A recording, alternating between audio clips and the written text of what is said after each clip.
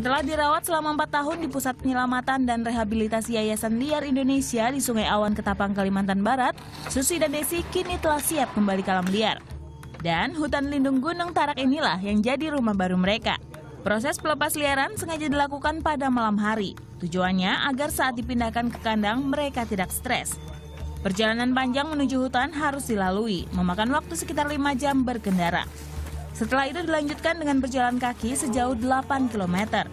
Saat tiba, Susi dan Desi langsung dikeluarkan dari kandang.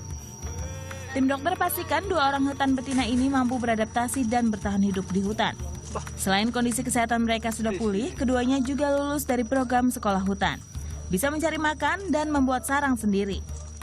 We have already arrived at the um, edge of the forest and, and now we cannot go any further with the cars.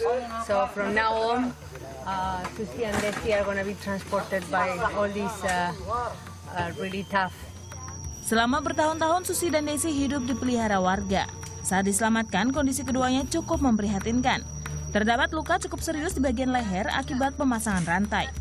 Kini masih ada 100 orang hutan lagi yang sedang dirawat di Yari. Diperkirakan jumlahnya akan terus bertambah seiring maraknya pembukaan hutan secara liar. Tim Liputan melaporkan untuk NET.